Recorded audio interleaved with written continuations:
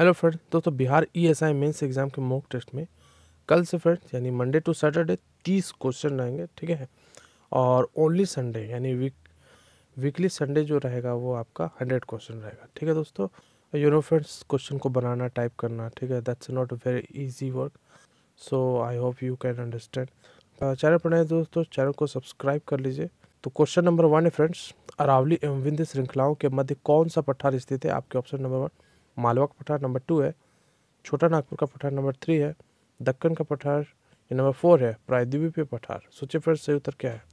तो फ्रेंड्स सही उत्तर है नंबर वन मालवा का पठार, ठीक है?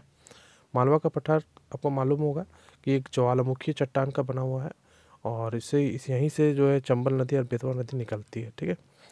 चलिए नेक्स्ट है क्वेश्चन नंबर टू भारत का सुदूर पश्चिम का बिंदु है।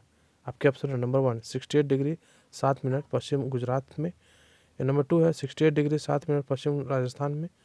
नंबर थ्री है, sixty eight point, sorry, sixty eight degree seven minute पूर्व गुजरात में। या नंबर फोर है, सिक्सटी एट डिग्री सात मिनट पूर्व राजस्थान में।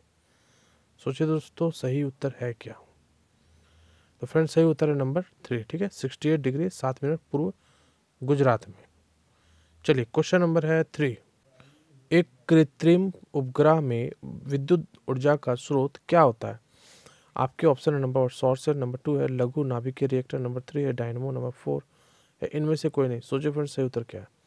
तो दोस्तों, सही उत्तर है नंबर वन ठीक है? सौर सेल क्वेश्चन नंबर फोर है, सोयाबीन में नाइट्रोजन स्थिरीकरण के लिए जिम्मेदार बैक्टीरिया है। आपके ऑप्शन है number one rhizobium leguminosarum number two है राइजोबियम जैपोनिकम नंबर थ्री है राइजोबियम फैजियोलाई नंबर फोर है, इनमें से कोई नहीं। सोचे फिर सही उत्तर है क्या? तो फ्रेंड्स, सही उत्तर है नंबर टू। ठीक है, rhizobium. Japonicum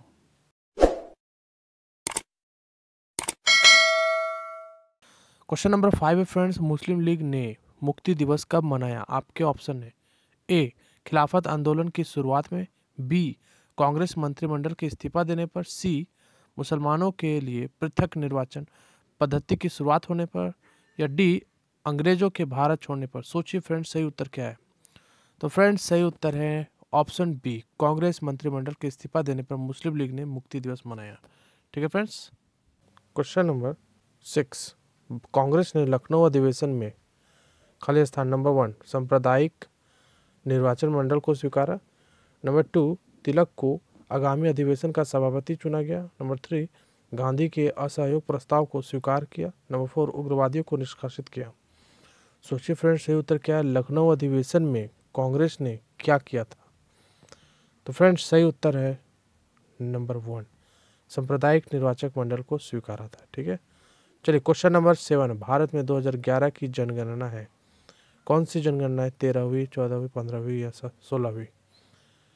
सोचिए फ्रेंड्स, सही उत्तर क्या है? तो सही उत्तर है दोस्तों नंबर थ्री, पंद्रहवीं जनगणना, ठीक है? चलिए, क्वेश्चन नंबर एट। तो राष्ट्रपति संसद के किसी भी सदन का सदस्य नहीं होगा। नंबर टू है, संसद राष्ट्रपति और दो सदनों से मिलकर बनेगी। आपके ऑप्शन नंबर वन, केवल वन। नंबर टू है, केवल दो। या नंबर थ्री है, वन और टू, दोनों। नंबर फोर है, दोनों में से कोई नहीं। सोचिए फ्रेंड सही उत्तर क्या है? तो दोस्तों, इसमें सही उत्तर है, संसद जो है, राष्ट्रपति और दो सदनों से मिलकर बनेगा। केवल टू, ठीक है? चलिए क्वेश्चन नंबर नाइन, सार्वजनिक वितरण प्रणाली को बनाए रखने और सुरक्षित भंडार के निर्माण के लिए जिन कीमतों पर सरकार खाद्यान्न खरीदती है तो उसे किस नाम से जाना जाता है? सार्वजनिक वितरण प्रणाली को पीडीएस कहा जाता है, पब्लिक डिस्ट्रीब्यूशन सिस्टम। तो वन जो है आपका ऑप्शन है, न्यूनतम समर्थन कीमतों के कीमतों के नाम से जानी जाती है। या फिर वसूली कीमतों के नाम से जाने थे, या निर्गम निर्गम कीमतों के नाम से, या फिर नंबर फोर है, उच्चतम कीमतों के नाम से जानी जाती है। सोचिए फ्रेंड सही उत्तर क्या है?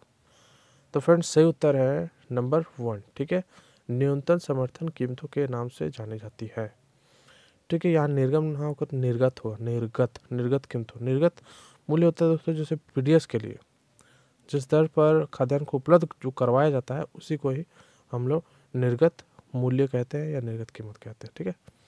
चलिए क्वेश्चन नंबर टेन है लास्ट है भारतीय रिज़र्व बैंक के संबंध में सत्य है। क्या सत्य है कि यह केंद्र सरकार का बैंक है? या नंबर टू मौद्रिक नीति बनाता है और उसे लागू करता है? या number three I M F के सिलसिले में सरकार के एजेंट के रूप में काम करता है? सोचिए फ्रेंड्स सही उत्तर क्या है?